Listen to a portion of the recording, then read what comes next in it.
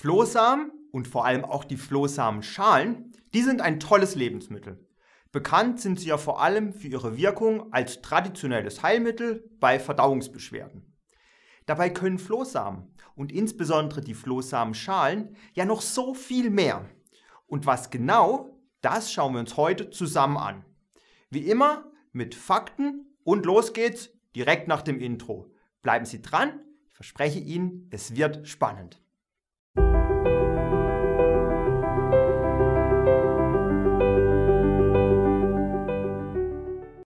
Mein Name ist Dr. Fabian Mutach. Ich bin promovierter Biochemiker und Gründer von Selventrix. Und wenn Sie Inhalte zu den Themen Ernährung, Gesundheit und einem gesunden Leben im Allgemeinen interessieren und Sie gerne nach wissenschaftlich fundierten Informationen suchen und diese eben auch finden, dann sind Sie auf diesem Kanal genau richtig und dann abonnieren Sie doch gerne. Flohsamen und vor allem die Flohsamenschalen sind schon lange als ein traditionelles Heilmittel bei Verstopfungen bekannt. Dabei können die kleinen Samen, wie ich eben eingangs bereits erwähnte, noch viel mehr. Bevor wir einen Blick darauf werfen, schauen wir uns noch kurz an, was Flohsamen überhaupt ist und wo der Flohsamen herkommt. Flohsamen, das sind die Samen von Wegerichgewächsen. Und zwar des Strauchwegerich, des Sandwegerich und des indischen Flohsamens. Je nach Sorte unterscheiden sie sich in Farbe und Aussehen, wobei der europäische Flohsamen meist dunkelbraun bis schwarz ist und auch etwas länglicher. Der indische Flohsamen, der ist eher hellbraun bis rötlichbraun. Die Schalen sind dagegen eher weiß bis gelblich. Und man kann die Flohsamenschalen sowohl ganz als auch in gemahlener Form kaufen.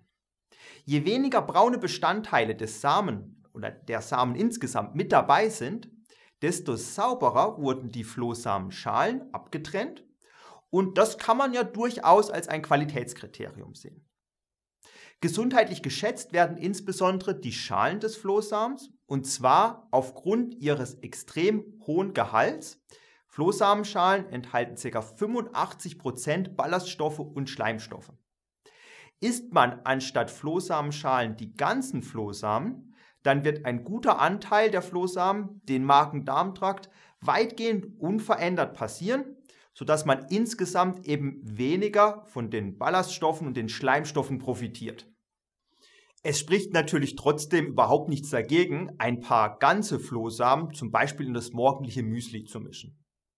Auch die Flohsamenschalen, die kann man auch ganz leicht einnehmen, wobei man ein paar Punkte beachten sollte.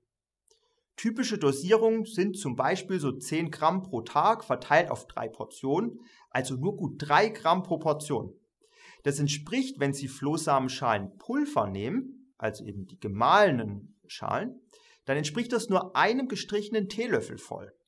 Und das hört sich ja erstmal total wenig an, aber die Schalen haben ein enormes Quellvermögen und sie quellen bis auf ca. das 20-fache ihres ursprünglichen Volumens auf. Das heißt auch, dass man unbedingt genügend zu den Flohsamenschalen trinken muss. Ein großes Glas Wasser pro Portion sollte es schon mindestens sein. Man kann die Schalen auch in Wasser geben und schon mal 15 Minuten vorquellen lassen, bevor man die Mischung dann trinkt. Und ich trinke dann auch gerne nochmal ein Glas Wasser hinterher. Denn wenn man eben zu wenig oder gar nichts zu den Flohsamenschalen trinkt, dann können die Schalen im schlimmsten Fall zu Verklumpungen im Magen-Darm-Trakt führen. Und das wollen Sie ganz bestimmt nicht haben. Deshalb würde ich empfehlen, bei den Mengen sich auch erstmal langsam ranzutasten und man kann die Menge dann auch langsam steigern. Die Flohsamenschalen, die ich Ihnen empfehlen kann oder die ich auch selbst gerne nehme, die habe ich Ihnen mal weiter unten verlinkt. Können Sie einfach mal reinschauen, wenn Sie es interessiert. Ich habe keine Kooperation mit dem Hersteller, es ist einfach nur eine persönliche, eine ganz persönliche Erfahrung und Empfehlung. Wer unter Erkrankungen leidet und Medikamente einnimmt, der sollte zwischen der Medikamenteneinnahme und den Flohsamenschalen mindestens eine Stunde warten und die Einnahme auch generell vorher mit dem Arzt des Vertrauens besprechen. Denn durch den extrem hohen Anteil an Schleimstoffen in den Schalen kann die Medikamentenaufnahme verzögert oder auch verringert werden. Und das wäre dann eben auch ungünstig. Und wenn man die Flohsamenschalen aber richtig einnimmt, dann haben sie meiner Auffassung nach ganz tolle gesundheitliche Eigenschaften. Bekannt sind Flohsamenschalen ja sicherlich dafür, wegen ihrer enormen Quellfähigkeit gut gegen Verstopfung zu wirken, so als natürliches Hausmittel. Ich denke, dafür sind die Flohsamenschalen insgesamt bekannt. Sie wirken aber auch genauso bei Durchfall, dass sie die Darmpassage verlangsamen und damit wirken sie insgesamt modulierend auf unseren Darm. Und mehrere kleinere Studien legen mittlerweile auch nahe, dass die Wirkung der Flohsamenschalen auch weit darüber hinausgeht. Offiziell bewerben darf man die Flohsamen und die Flohsamenschalen nicht mit diesen Vorteilen, da sie keine offiziell zugelassenen sogenannten Health Claims sind. Das heißt, es sind eben keine offiziell zugelassenen Formulierungen, wie man eben diese Produkte bewerben darf. Aber wir schauen uns diese im Sinne der allgemeinen Information und Weiterbildung zusammen an.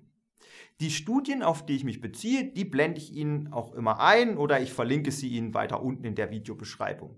Wenn Sie das interessiert, schauen Sie doch gerne mal rein. Durch die hohe Quellfähigkeit verlangsamen die Schalen die Markenentleerung. Und dadurch sättigen sie wiederum sehr gut wobei die Schalen selbst nur wenige Kalorien liefern.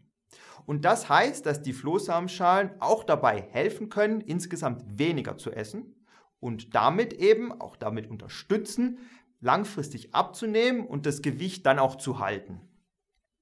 Flohsamenschalen können durch ihre Ballaststoffe auch Cholesterin im Darm binden, wodurch das Cholesterin dann eben ausgeschieden wird und so der Cholesterinspiegel natürlich reguliert wird.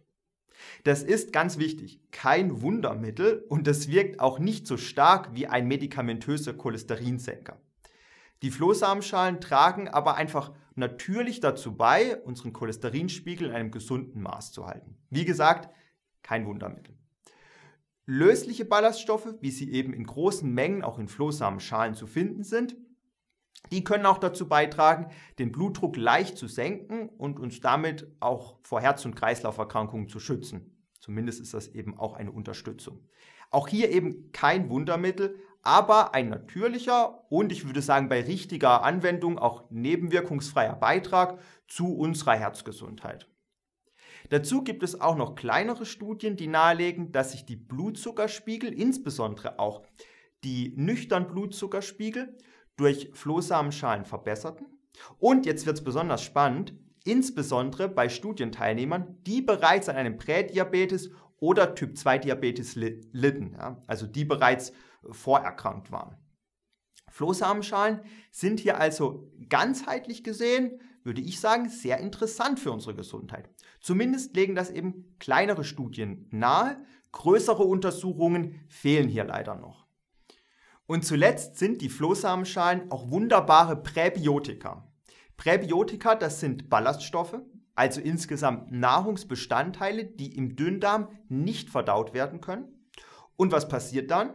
Naja, sie wandern in den Dickdarm und werden dort fermentiert. Bei dieser Fermentation entstehen kurzkettige Fettsäuren. Manchmal werden Sie auch den Ausdruck SCFA finden. Das ist einfach die englische Abkürzung für Short Chain Fatty Acid also kurzkettige Fettsäuren.